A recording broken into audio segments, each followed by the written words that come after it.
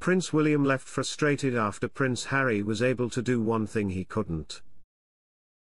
Prince Harry claimed in his memoir Spare he was allowed to do one thing Prince William was denied and that apparently left the heir to the throne quietly frustrated.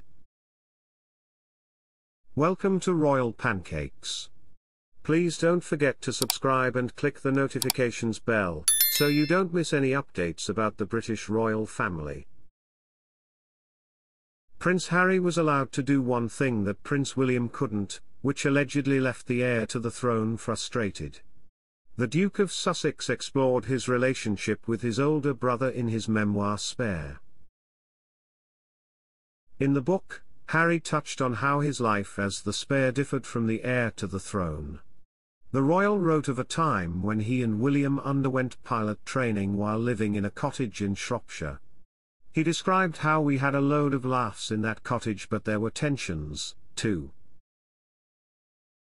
While in Shropshire, the brothers agreed to a joint interview, during which William apparently joked about Harry being a slob and snoring, to which Harry objected to, telling the interviewers that it was not true. Harry wrote, I turned and gave him a look. Was he joking?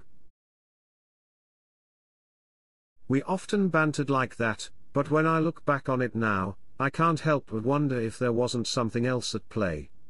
I was training to get to the front line, the same place Willy had been training to get, but the palace had scuttled his plans.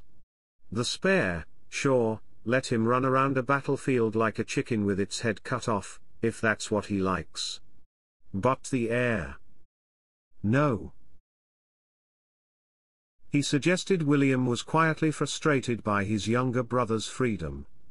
The now Prince of Wales went on to become a search and rescue pilot for three years, conducting a total of 156 missions and rescuing 149 people.